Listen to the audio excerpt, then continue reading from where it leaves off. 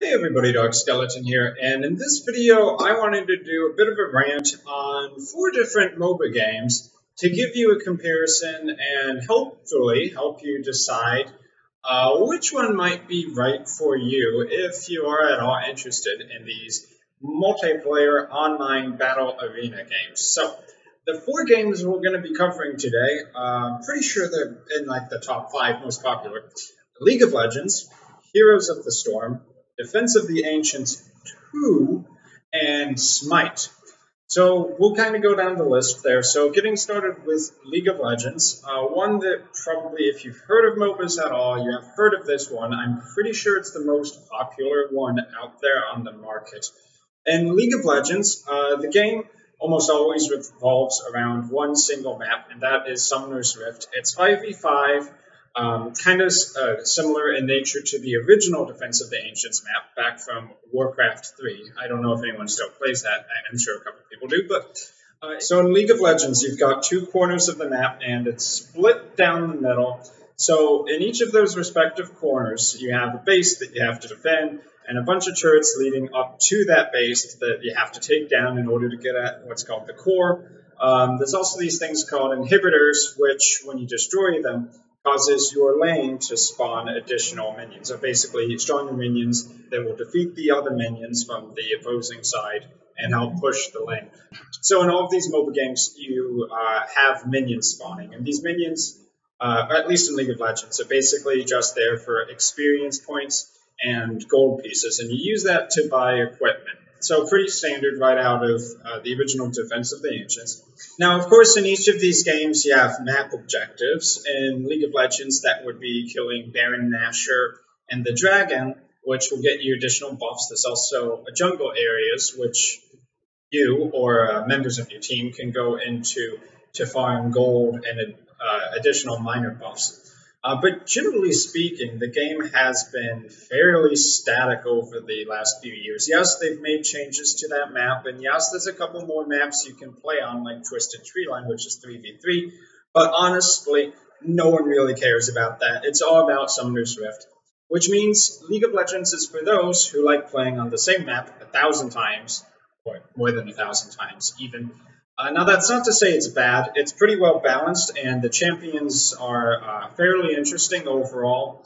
Uh, there's a ton of them, too. I, I, think League of Legends has well over 100 champions at this point.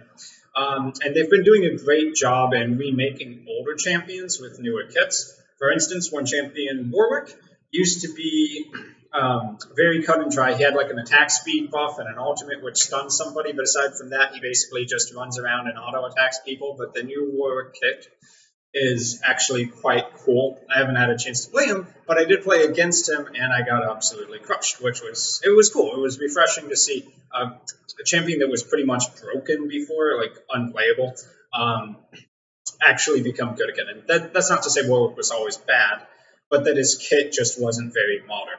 And in terms of the competitive scene, League of Legends is extremely popular. It's a pretty fun game to watch, and uh, Riot Games, the makers of League of Legends, do throw quite a bit of money at the competitive scene. Now, aside from the staticness of the 5v5 map, one of the biggest problems I have with League of Legends, and probably the defining reason why I more or less left the game, is that the player base is, to be kind, very competitive. So if you're not playing as well as you could, or you're not really working with the team how they want you to work with the team, basically, if they want you to do something and you don't do it, or if you mess up an ultimate or anything like that, um, you have a lot of these players out there that are kind of command and control, and they will rail against you for being bad, for being a noob, blah, blah, blah.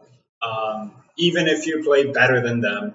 And uh, just having that kind of overly competitive environment does make it a lot less fun because you're there to play a game and then people are treating each match almost like it's life or death. Like if we lose this, I'm going to lose $50,000 in my savings account or something like that. And it's just like, come on, man.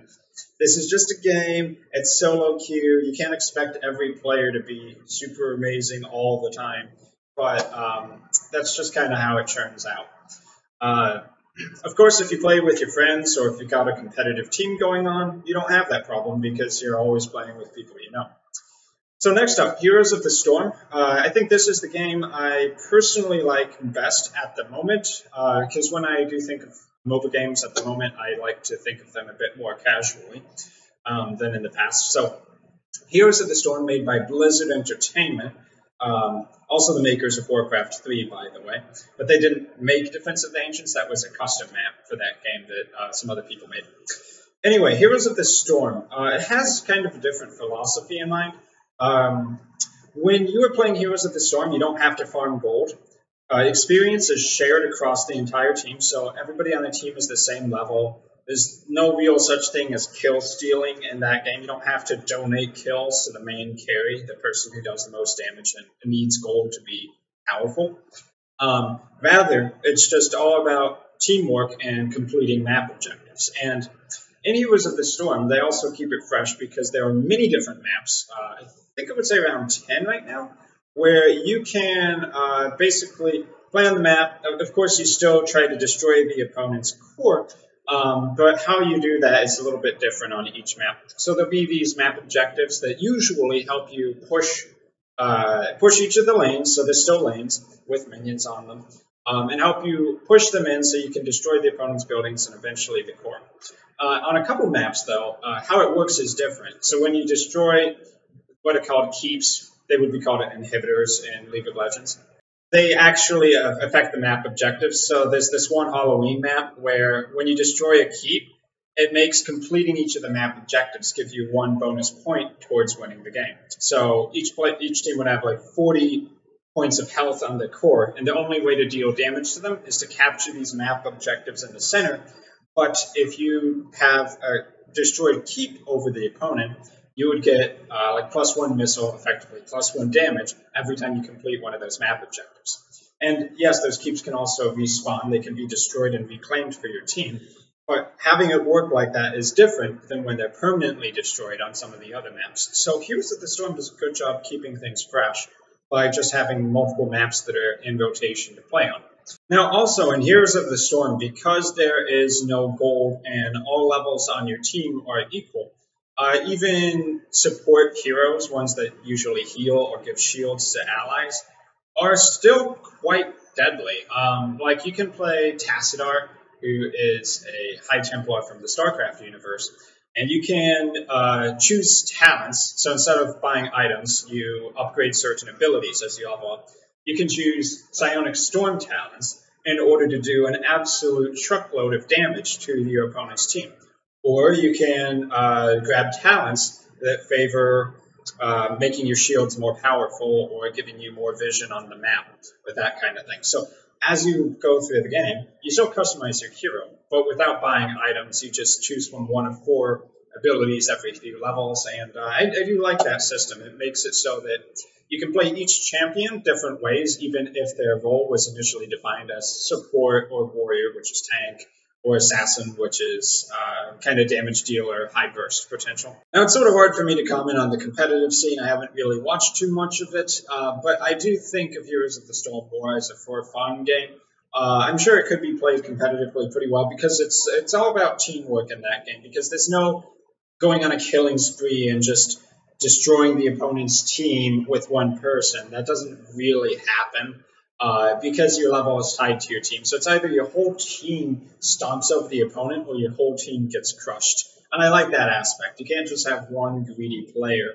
Um, and you have to participate in team fights or going for the map objectives if you want to win um, at any reasonable skill level. So it's kind of nice in that way. You can't just, you know, be a cheesy player who just goes and gets a bunch of kills. I mean, you can, like, you can play a stealth champion that uh, tries to take people out of the fight, and basically assassin, uh, before the fight starts. But you still have to work as a team, and that's cool. I think that's what um, MOBA games should be trying to do best. Okay, so moving on to Defense of the Ancients 2. So this is a uh, basically a follow-up to the original. It's a completely separate game client um, on Steam. Uh, of course, free to play. All these games are free to play uh, with the ability to pay money for premium skins or sometimes champions. Um, What's notable about Defense of the Ancients 2 is that it is pretty, I would say, cutthroat. They all, they all can be competitive, but Defense of the Ancients 2 is particularly uh, unfriendly to beginners because in Defense of the Ancients, it's really easy to just absolutely scale way beyond the other team in terms of power level. The levels of each champion are individual. Um, it's a good strategy to pick on the weakest player on the opposing team, basically farm them for gold. And yes, you can do that in League of Legends, but I think it's way more extreme in Defense of the Ancients, where you can make that player just fall behind completely uh, and get destroyed. Meanwhile, you're farming up all this gold the items in Defense of the Ancients allow you to have huge power spikes, and also the abilities and the items in Defense of the Ancients are pretty complex. Um, like, for instance, a champion or hero called uh, Broodmother. She has a spider web.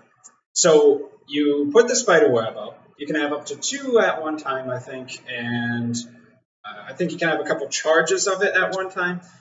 Basically, the cooldown refreshes and it can refresh again, so you can use two in su succession. So it not only gives you stealth, it also gives you high movement speed, it also gives you regeneration while you're on it, and it allows you to move over walls, especially the moving over walls component. And I, I suck at Defense of the Ancients too, but understanding those abilities and how to really use them effectively uh, is a bit more complicated than, let's say, Ezreal from League of Legends, which is like he has a Q, it's a skill shot. So it's like shoot an arrow this way, it does 200 damage done. But then the Broodmother ability is like this thing does four things in one. And if you spend a minute to go ahead and read over it, I mean, you don't have time for that in the middle of a match. You probably shouldn't be doing it in the middle of a match, admittedly. But it does have a learning curve. Um, you walk into Defense of the Ancients, and even if uh, I was Gold League in League of Legends, so walking into Defense of the Ancients, play a couple matches, I still get totally destroyed. Um, it's really unforgiving. The other players, uh, I, I, would think on average, the players who still play Defense of the Ancients too seriously or actively are uh, pretty serious about the MOBA genre. So they're experienced in the game. They will smell your weakness and they will farm you for kills. Oh, and another thing that makes it a little bit more unforgiving to noobs, the towers in Defense of the Ancients 2 aren't really quite as deadly, I think. It's not hard at all to tower dive people, which is where you kill people while they're under the defensive zone of the turret. So you're an underleveled player. You got these other people on the opposing team. They just wait behind the trees. They can be like a few feet from you, but you can't see them because of line of sight. And then they just jump on you with stuns. You can't do anything because the stuns last a long time, and you just die and you feed them another kill that's how Defense of the Ancients goes if you're a complete noob. So in order to enjoy Defense of the Ancients 2, you really have to have kind of some mental fortitude going into it, knowing that it's going to take a while for you to learn, and knowing that because there are other players who do know what they're doing, um, they're going to exploit that knowledge and kind of crush you the first few times. Now, I don't know exactly what was up with the matchmaking system. It's not like I won 10 matches and then got placed against experts. It's just kind of that's how I was placed into the game. So I don't know. Maybe the average Defense of the Ancients player is just like way better um, and is like mostly experienced League of Legends X players or something like that. But yeah, um, Defense of the Ancients 2 it is much more similar to the original map, and yeah, I think it's basically you focus your game on that 5v5 map like League of Legends, and it's just that one map. It, it really is based a lot on the original Defense of the Ancients. You got um, shopkeepers, like secret shops, that are in the middle of the map, uh, which is something from the original. League of Legends doesn't have that, but the original Defense of the Ancients did.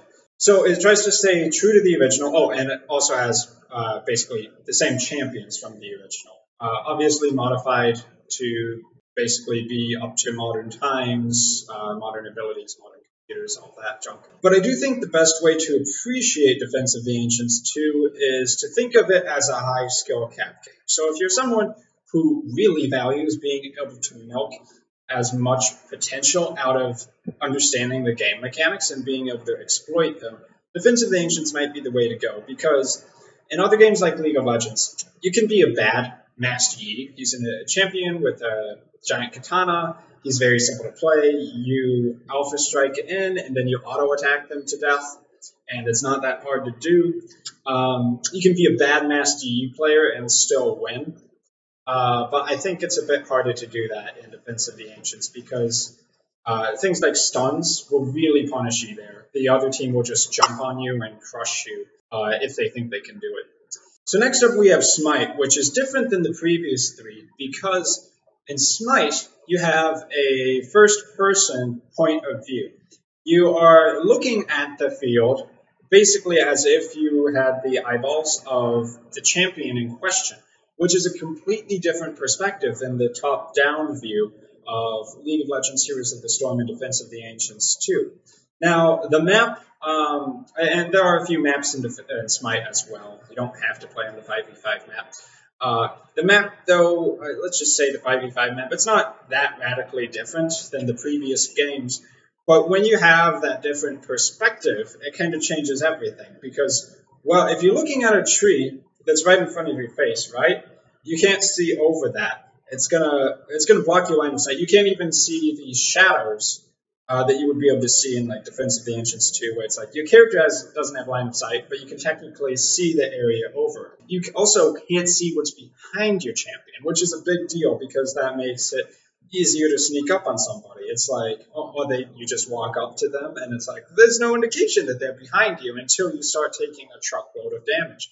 So by having that different perspective, it changes the game a lot. There are still crazy abilities like uh, I think it's Thor who has this one to jump up into the air and then choose his landing location. But how that ability plays out is different because you have that first person point of view. So instead of just clicking on somewhere top down, you kind of get that disorienting effect of your character actually moving and the camera moving with it, and then choosing your location to land down on um, just visually speaking, and how uh, that different visuals perspective changes the game makes it different than the other three games.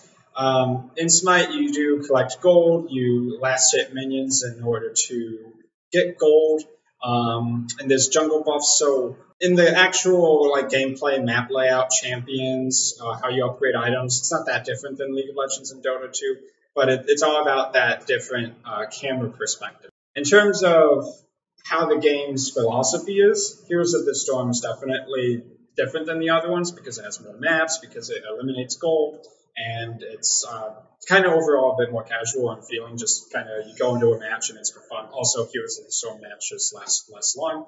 But hopefully that gives you guys a really good idea of the differences between League of Legends, Heroes of the Storm, Defense of the Ancients 2, and Smite. Although I mostly play Heroes of the Storm currently, I think that they are all decent games in their own right for different types of audiences. So if any of those sounded interesting to you, I would say go ahead and give it a shot. They're free to play out of the box, and you only have to invest money into the game if you want uh, extras like skins or champion unlocks sooner than you would otherwise get them from the in-game currency. So with that, I've been Dark Skeleton. Thanks for watching, and I will see you guys in my future video content.